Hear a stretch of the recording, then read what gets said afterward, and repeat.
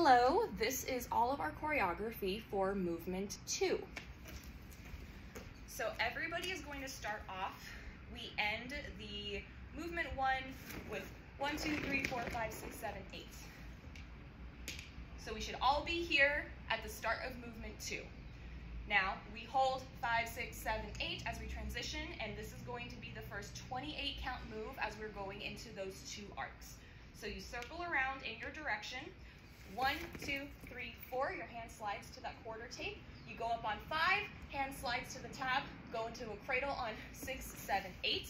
Up and over the mountains, up and over nine, 10, 11, 12. Make a uh, figure eight. Then you're going to grab 13, 14. Bottom carve, 15, 16. Now from here, we break off into A, B parts. If you're an A, you're going to do carves first. You go 17, 18, 19, 20, you turn 21, 22, 23, 24, you side carve 25, 26, 27, 28. If you're a B, you're going to do a turn first on 17, 18, 19, 20. You carve on 21, 22, 23, 24, side carve 25, 26, 27, 28. At that point, we are all in the two arcs ready to do the 16 count hold that we already know.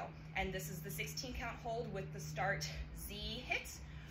One, two, three, four, up, five, six, seven, eight, hit nine over 10, 11, 12, slide together, third, fourth, fifth, flat. And now we move next for the 28 count, move around the band into that upside down V. We move, one, two, three, four, shoot out, five, six, down seven, eight, hit nine, carve 10, 11, tuck 12, around the body, 13, 14, 15, 16, you go up 17, down 18, up 19, hit 20, up and over, Superman cape 21, 22. You want to be in a plie in your spot by 22, we jump, one, two, around three, four, flat, side carve, five, six, we turn, seven, eight, hit nine, 10. Of